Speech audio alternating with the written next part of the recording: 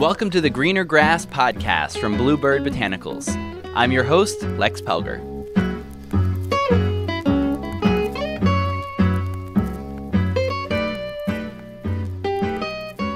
Today, we head up to Fort Collins, Colorado, where we interview Dr. Avery Gilbert about his work with cannabis and aromas. He has a long history in the world of smells, from animal urine to the perfume industry and now into the wild world of cannabis. He'll talk about his work harnessing the power of the human nose to reliably differentiate the various notes of the cannabis cultivars. We'll put links to his work in the episode notes. It was very enjoyable to sit down with a professional like Dr. Gilbert. He's been interviewed widely, he wrote the book What the Nose Knows, and now he's running Headspace Sensory here in Colorado. So sit back, enjoy the show, and don't forget to smell your bud. This show is brought to you by Bluebird Botanicals to spread education about cannabis and other things on the greener side of life. Bluebird CBD oil comes from farms in southern Colorado and is grown using only water, soil, and sunlight. Go to bluebirdbotanicals.com for more info. Hello, everybody. I'm really happy to be here at Dr. Avery Gilbert in his lab. Thanks so much for joining us. You're quite welcome.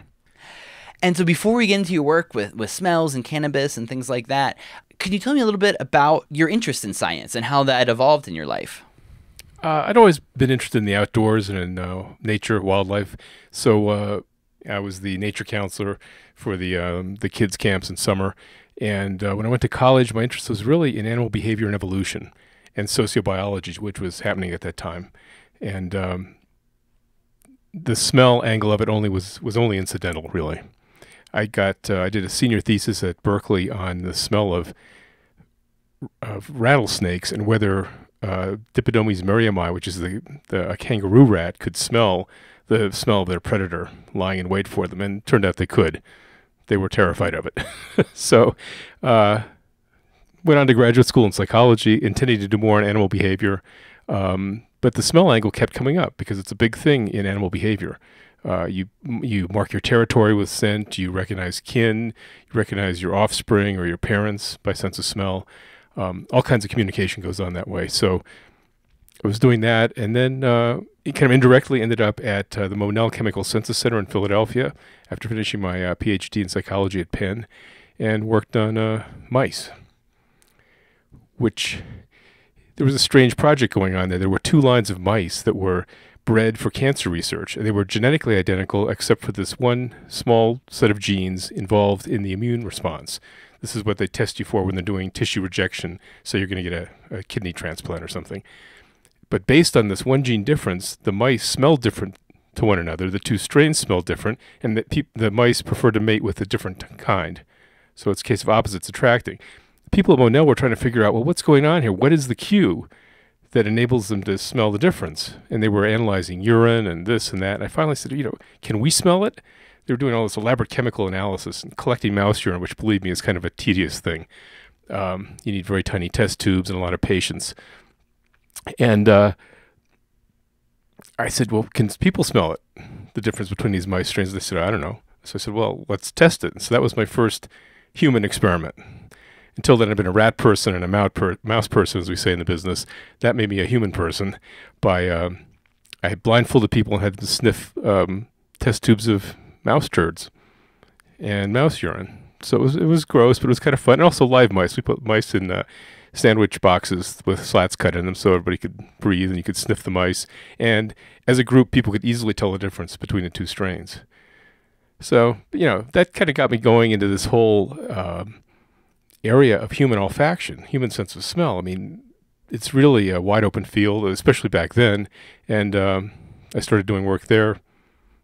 Got recruited by a perfume company. I had assumed I would be an academic all my life, but a perfume company came and offered me large money to start a, uh, a human sense of smell research program for them, which I did and uh, never looked back. And so you got to start in sociobiology as it was an earlier time in the field. Um, and then combining that really wild woolly field with smell, which is just such an unknown, you know, such a wide, wide open field as well. What was it like to be working in these two uh, really almost unknown fields?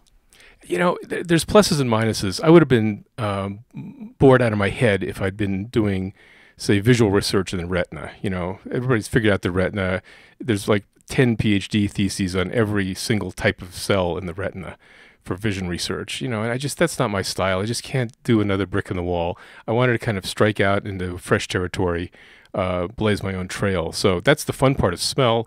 The and and the fun part of sociobiology because it's behavior, but it's also evolutionary theory and experimental. Um, the trouble is, it you end up being interdisciplinary, and therefore you don't fit in one academic department or another, and that can be a problem if you're looking for jobs or looking for a very kind of easily managed reputation. So I, you know, I I have no regrets about that. I like doing what I do, especially as a freelance scientist. You can just chart your own course, and that's much more my style. So the that industrial attack that you took really did make sense. Well, it was great for me because I learned all about how perfumery works, how perfumers work, how fragrance evaluators work, how the business works, um, the role of creativity, and it got me started on a whole set of experiments um, that turned out to have kind of started a subdiscipline in psychology. So, for example, we it's very tough to get people to describe odors or perfumes, especially when you're asking consumers what they like and don't like. And so I said, well, maybe there's just some way around that. Let's let's use not words but um, colors. Say, can we describe smells synesthetically with with colors? And so I developed some easy ways to have people match smells to colors. And this turned out to be um, easy to do. You got very reliable results, and it was useful to the business because you could, among other things, tell your client what kind of colors they should use in the packaging or the juice of a perfume. And, um, and yet it was a nonverbal way of describing smells. And this whole thing between of a kind of cross modal, it's called. It's just fancy. It's kind of, you know, the relations between hearings, touch, smell, and so forth. It's become quite a field now. And, uh, you know, in a way, I kind of helped get the ball rolling many years ago with those with those studies, purely out of venal commercial interest. And so, what did you start to learn about how, synesthesia and how these other senses are affecting the, the smell sense that you were interested in? Well, it goes both ways. Um, uh, the smell can affect and be affected by the other senses. So, we found, among other things, that people have reliable color impressions of smells. They have reliable auditory pitch impressions. So, perfumers are always talking about top notes and bottom notes.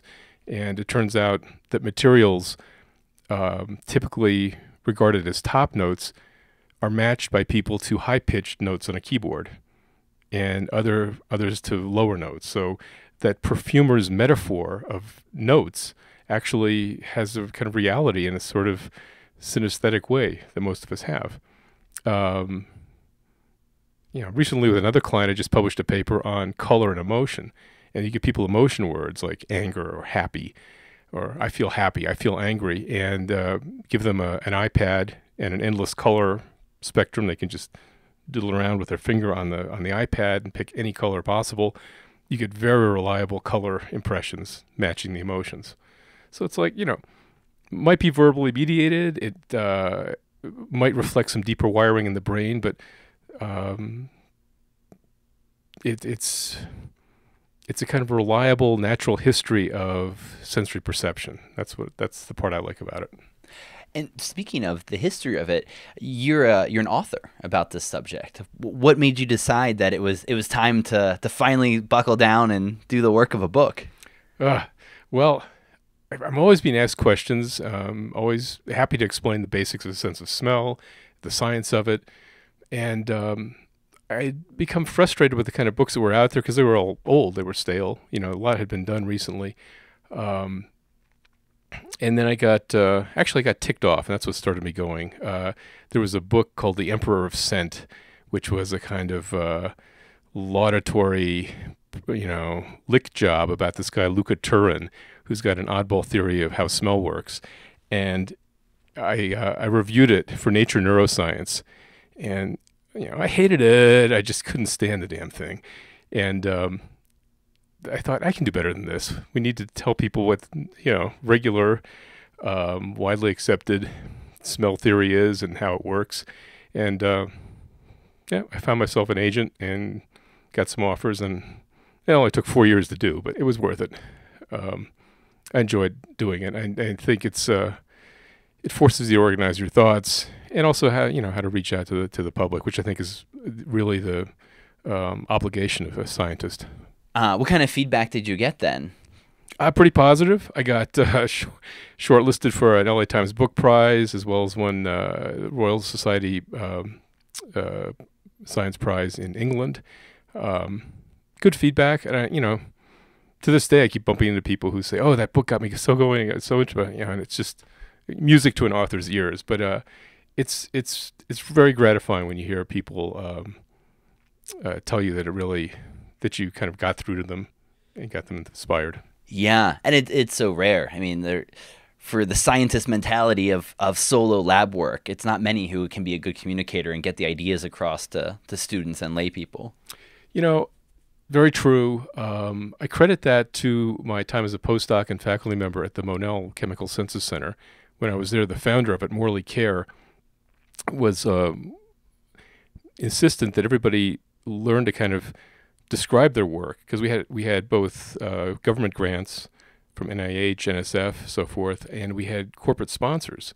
Big companies were interested in taste and smell, and they would visit the corporate sponsors, and we'd kind of kind of um, describe to them what we were doing. And he made it a point to sort of tell you how to get your point across. And uh, at first, it was like an annoying. You know, I'd, I'd, hear him walking down the hall talking to some sponsor, and then a knock at my door, my office door, and I, Dr. Gilbert, can I introduce you to Robert Mondavi? and I turn around, there's Robert Mondavi with his bow tie and his assistant. It's like, yeah, okay, you can introduce me to Robert Mondavi. Um, but it was it was fun, and uh, I think that was a that was a formative experience, and I, I have to credit Morley and the Monell people with uh, kind of getting me on that path, and not the one of the closeted scholar who doesn't want to talk. And so th- those skills helped as well because you went on to found some startups as well around this world. Um, how did how did those go, and how did this communication help there? Uh, well, that came to me. I was at a scientific meeting, a taste and smell meeting in uh, that we have every year in Florida, and a couple of guys came up and introduced themselves. Turns out they were the guys that founded DigiScents, or they were in the process of creating that company, and um, that's how I got involved in that first one. It was kind of at the turn of the century, the peak of the dot com boom, and they wanted to bring smell to the internet with a little device that would plug into your computer and be activated uh, by code, basically with action on the screen or clicks or whatever. And that was quite interesting. Disappointing in the end, but um, kind of I kind of got the entrepreneurial bug from that. Later on, I started my own smell test that I sold to doctors using kind of peel off smell technology like you get in magazines rather than scratch and sniff, which is kind of the primitive version of that, you can peel it off and you can get much nicer renditions of, of smells. So that was a little checkbook sized thing that a doctor could use as a kind of quick smell test in the office. Done that, started my own company as an con- independent consultant when I left the perfume corporate world. And um, I've consulted with other people starting up companies and then started my own. Most recently, started a company here in Colorado called uh, Headspace Sensory, which is uh, devoted to exploring the smell of the different strains of cannabis, among other things. And before we get to that one, uh, just a little bit on uh, how would it be helpful for a doctor to have a smell test? What would they be testing for in somebody? Doctors routinely do cranial nerve tests. You know, check your hearing, your eye, your reflexes. So, smell is the first cranial nerve, and they have ready ways of doing everything else eye test, hearing, and so forth. But for smell, you have to have you have to give somebody a smell, a kind of standard smell and a standard um, delivery, and ask them a standard question about it. And that's just, I mean, in the old days, people, doctors used to like you know hold up a cigarette butt. you, you, actually see that in the literature, or an ashtray, or an old coffee cup, or stuff. You know, none, none of which would be viewed positively today. So uh, it can be helpful, especially when you're looking at uh, the, the two major ways people lose their sense of smell. One is upper respiratory tract infection, head cold, flu, and the other um, is uh, head injury. So anytime you get a concussion, blow to the head, you can sever many of the tiny little nerve fibers that are going from the nose up through the skull, and that can that can reduce your smell. So you want a quick check on that basically, and you know you need something at hand in the in the exam room. smells unique in one way that it doesn't have the higher level processing that the other senses have. Like the eyes, you have these processing centers that cut out the information, but the smell sensory neurons go directly into the cortex. Is that about right? Yeah, well, what they what smell does not do is go through the thalamus, which is what all the other senses do. So it's it's got this. Um, it goes directly to other centers. You're quite correct. Uh, it goes to the hippocampus, which is a little area that uh, helps form memories, and it goes to the amygdala, which is involved in kind of quick judgments about good, bad, friend, foe, you know, tasty, yucky. Um, and only after processing those areas does it go up to the cortex, where we finally say um, recognize what it is or identify it or make judgments about it. So, in a matter of milliseconds, you're you're saying your your brain is detecting a smell and already saying, "Yeah, this is negative," and um, cut off the breath, avert your head, bail out, or you know, mm, this is good, tasty. Have another sniff. Maybe you know, is dinner ready? Is the pie cooked? Whatever. Uh, and then only a second or two down the road, are you do you actually recognize what the smell is? Um, like, is the pie burnt? is the uh, is that skunk in the same room? You know, all those kind of things uh, are cortical, higher level uh, mental processing. So yeah, it's uh, we're learning more about that now, uh, and the rise of MRI brain research, you know, uh, brain imaging has helped that in the last 10, 20 years. Hmm. So it really makes sense that smells are so good at eliciting memories because of the hippocampus aspect, and then the fear response because of the amygdala. Yeah, or the love it, hate it. Yeah, so the emotional, the emotionality of it, and the memorability of it uh, makes sense if you look at the at the wiring chart, if you will. And so, how does that relate to cannabis then, and people's experiences with cannabis? Well, so I got into the cannabis thing because I've been three years in Colorado. Actually, I came out and was here a year, and I was looking around for opportunities locally. One of them was cow manure, that that didn't pan out, but not for any bad reason. Um, the other was cannabis, and I realized people were talking a lot about the smell of the different strains, uh, whether indica and sativa have a different aroma, whether um, you know, and, there were these descriptions of smell that you can find on the internet. Um, sort of like wine tasting notes, except not really um, consistently done. So I was fascinated by the fact that you know what is diesel, and is skunk really a thing? Um, in and in other areas of smell and taste, we have the the wine aroma wheel from UC Davis, you know, which has most of the flavors that you'll find in any kind of white or red wine. Uh, other people have done these kind of wheels, so the coffee people, the tea people, they have them, and I thought nobody's really doing this, and yet we're having things like cannabis cups and judging competitions, and yet there isn't a standardized way to describe the aroma. And so I visited a few dispensaries locally, and just you know, everybody's friendly, so you ask to smell, and you they'll hand you one sample after another, and I was just amazed by the range of smell difference from strain to strain. I mean, it's it's bigger than anything in wine or beer, even with all the crazy uh, flavors that are coming through with the microbrew um, revolution. You get everything from um, grapefruity, lemony, to skunky, musty, uh, woody, herbal, um, sometimes fruity notes, sometimes cheesy notes. So um, I wanted to try to get a grip on that, and nobody had done it. Nobody's ever. All the papers published on weed are about chemistry you know, so what is, you know, they'll they'll take uh, air samples around uh, dried flower and analyze it, and you keep coming back with a lot of terpenes. This is no surprise. These are common botanical uh, volatile molecules that are, contribute to the smell of everything from citrus fruit to up and down the, the food chain. But nobody had ever tried to put sensory descriptions on it.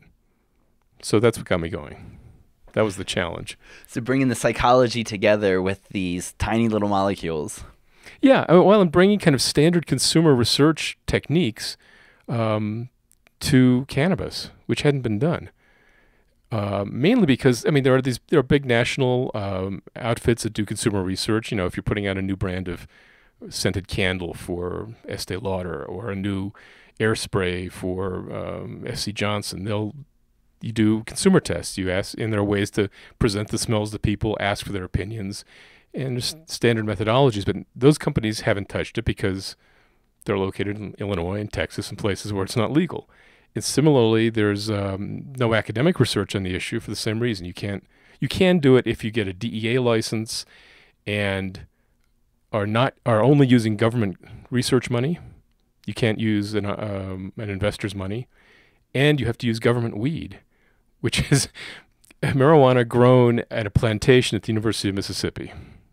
I'm not making that up. That's the official source for all uh, government um, sourced weed, and um, it's by all accounts kind of 1970s era stuff. Well, I've heard they're up to five percent THC now, Woo! maybe even six percent. Yeah, uh, they- they're trying. Look, I mean, the fellow that started it, um, uh, ElSohly is his name.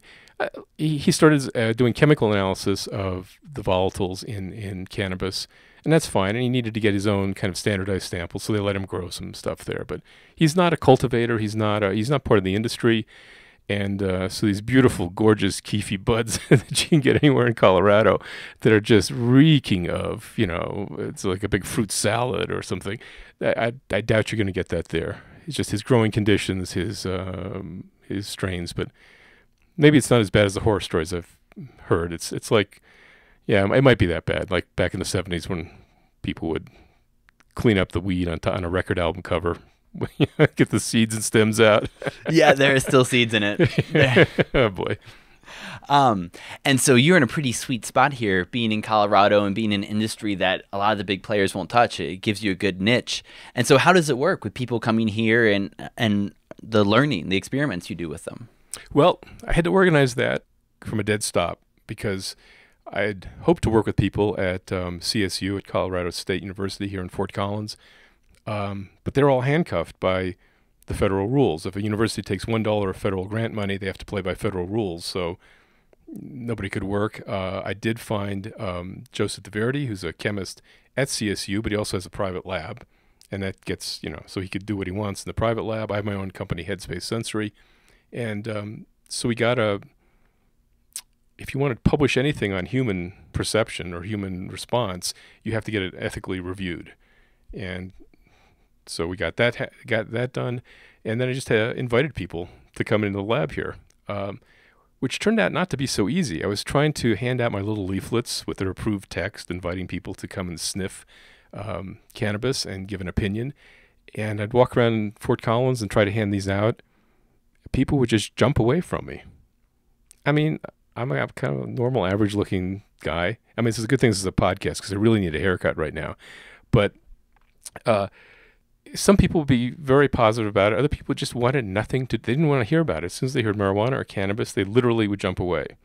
I left brochures at every tattoo parlor, head shop, dispensary in town.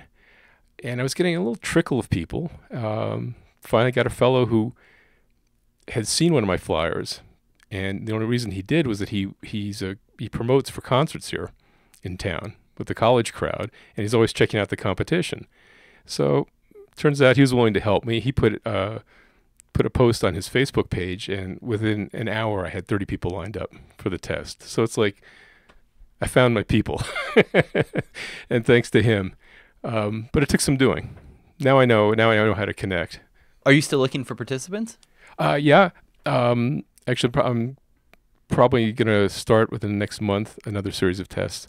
But I'd, uh, people would come in. So basically, you you come in, um, you know, give me some, your basics about yourself, and then uh, I sit behind a little screen at a table. You sit on the other side, and I hand you out a little glass jar, a little amber colored bottle, and uh, you sniff it, and then in this case, just I give you a ballot, a paper ballot, and it's got a lot of smell words like diesel, cheesy, lemon, raspberry, coffee, and you tick off each word that you smell.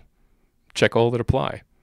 So it couldn't be simpler, you know. So people would sniff and check through, and then I'd give them another jar, and they'd keep doing that. And um, I assemble, I got these smell words from the internet. Basically, I scraped the internet, all the kind of weed sites. Um, you can imagine. I mean, everything from High Times, Leafly, different uh, dispensaries. So I got just a boatload of words, and um, didn't really edit them.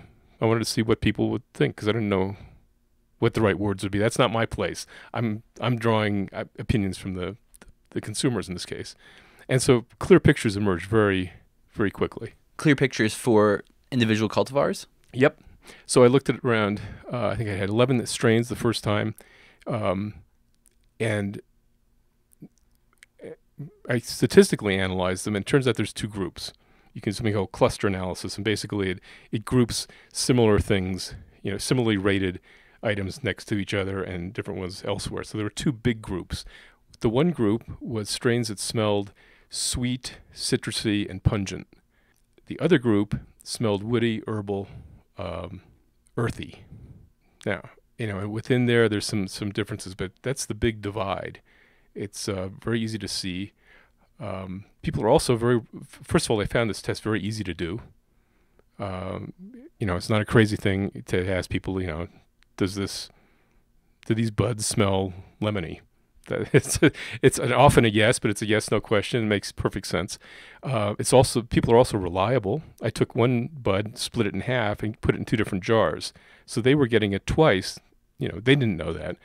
Um, and the results, uh, you could lay over the results from the one version and the other version, very close.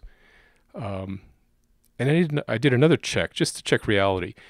You get, you know, if you get lemon diesel or whatever the strain might be, the dispensary is labeling it that way. I don't know what it is really. There's no real test out there to, to you know, what is the definition of lemon diesel? Is it genetic?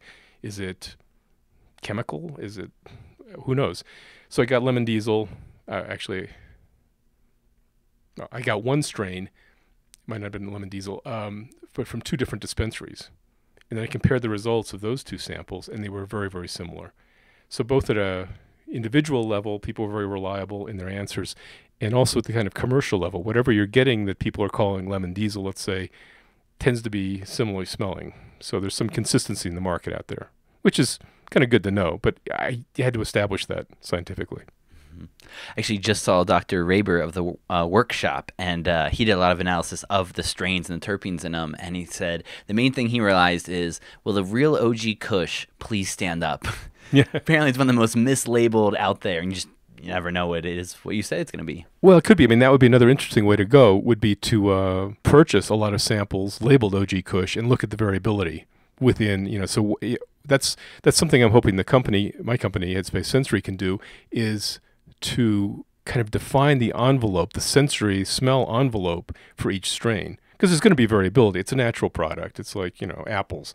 You can have a McIntosh apple, and some will be a little sweeter or less, or tart or crunchier, softer or whatever. But generally they'll be within this range of spec specifications and still be recognized as a McIntosh or a Granny Smith. So in the same way, you'd you'd hope and expect that uh, you know OG Kush has some kind of sensory boundaries, um, and it'll be interesting to see if some strains have larger, you know, more poorly or wider defined boundaries than others some you know I, would expect there to be difference there. And OG Kush might be one of those ones that just kind of has a very elastic definition, or maybe there's one kind of smell trait that's that people are really keying in on when they call it OG Kush or Kush type. And so that's one of the things that you hope to offer the industry is reliable smell tests like this, like research groups do for all these other consumed goods. Yep, yep. So I can I can put accurate um, consumer perception numbers on on a particular cultivar. Um, if you're looking to replicate that impression in, say, a vape fluid or something else, we can help make sure that that fluid is giving the same sort of profile, aroma profile, and sensory impression as the original cultivar underlying it. So, you know, there's a product format version. Same thing we do in the perfume industry. If you have, you know, um, an Estee Lauder perfume and you want to have a soap version of it, or a powder version of it, you know, you got to make it smell the same, and it might take a little different sensory engineering formulation to smell the same across different product bases. So that's one thing. Um, and I think the other thing is just the marketing creativity. Sooner or later, branding is going to come to this business. It's not really here now. I mean, you've got Willie Nelson and Lucinda Williams and um, the Marley brand, but once the scale's up, people are going to expect that a brand has, you know, smells, tastes, smokes, and gives the same um, psychoactive uh, response, you know, from one time to another, from one pack to another. So that's I mean that's that's the critical thing to building brands is building that kind of consistency of product.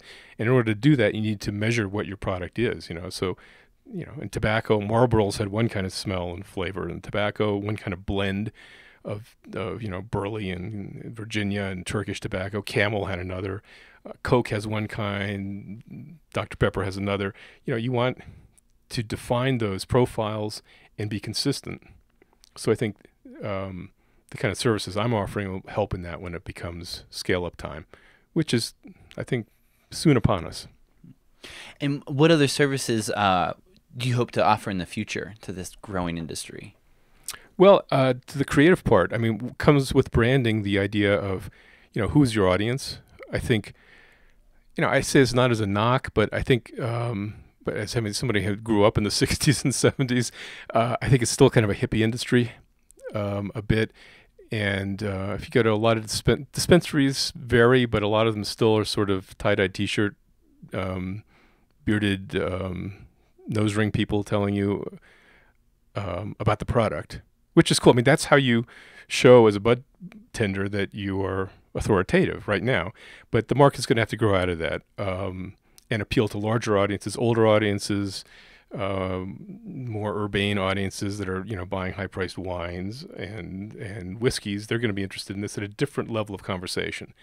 So we've got to move to that, and um, when that happens brands will need to design themselves to appeal to consumer segments, and that's where I come in because that's something I've been doing for you know 25 years, uh, is helping brands um, define their sensory appeal and to and maximize it for a particular audience. And so, what would you love to see in the future on the consumer side for how to really enhance and treasure the smell of this plant because it is such a special one? It is. It's a very cool thing, and it's got a whole culture with it, and that, that's a good thing. What I'd like to do is see the the conversation about cannabis become more, um, more a little more precise and a little more. I don't know, yeah, elevated. I guess might be the word. In other words, it, cannabis has just as much olfactory diversity and um, interest as as wine and coffee and beer. So let's bring it up to the same level. I mean, right now people are a little bit inarticulate about it, and that's fine because we don't have the words. So I'd like to see the the vocabulary established and consistently applied.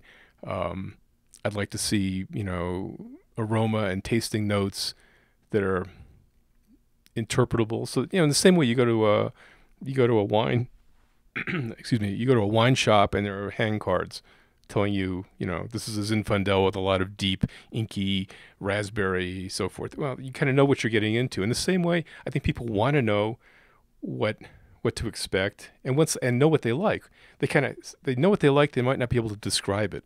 If you help them be able to describe it, then they can find their way to um, satisfactory product. It does sound so much more warm than a list of terpene profiles that you don't quite get. The idea of human selected words.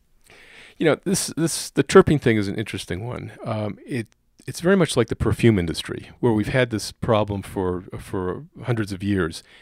There's kind of in my book, What the Nose Knows, I talk about the two voices of the perfume industry. One of which is kind of marketer's voice, which says, "Oh, this new fragrance is for today's active woman who's outgoing and blah blah blah." You know, it's kind of all this um, airy um, fantasy characterization about the consumer. The, so there's that voice. The other voice is ingredient voice, which says, "Oh, this new perfume has ylang ylang and upper notes of uh, you know cassis blossom and blah blah blah." It's like stuff like who has ever smelled ylang ylang? Neat. Nobody has, except if you're in the industry. No civilian has, and it means nothing. But it's accurate. But it's it just doesn't help. It doesn't help a consumer. So I think um, it's the same bind that uh, cannabis is in right now. We need we need to get some words first of all, and we need to get off the the pure terpene thing. And unless we're all chemists, that doesn't help you. And besides, if I give you a list, it's like perfume. If you can give me the formula for Chanel Five, and if I change one ingredient by two percent, it's going to smell entirely different. So it, knowing a terpene profile is like, yeah, maybe, okay, that'll give me a general idea, maybe, but if I tweak a little bit of it, or the natural variation in growing or strain or processing, you could have something smell noticeably different. So I think I think we need to kind of unhitch the wagon from just the pure chemical terms and get a little more on the sensory side, and that'll connect us. You know, it'll be the bridge between the pure chemistry and the kind of uh, branding language that we'll get to eventually. So if anybody wants to come help you out, they're uh, welcome to to check out your website and come volunteer. Yep, there's a there's a form they can fill out on headspacesensory.com, and uh, yeah, be happy to see you. Great. And so the book is What the Nose Knows The Science of Scent in Everyday Life. And you also write on your blog, firstnerve.com, about these uh, topics as well. Yeah, I've been writing about weed a bit there. I'm starting to fire that up a bit more. Uh, Twitter, which I also do as Science of Scent. You know, you're kind of limited there, and it's like pea shooters going at each other. I like the long form a little bit. So yeah, firstnerve.com is there for uh, for the longer versions. Okay, so we'll put all these links into the episode notes. And uh, Dr. Gilbert, thank you so much for taking the time to talk to us today. Thank you, Lex. It's great. Greener Grass is a Bluebird Botanicals podcast.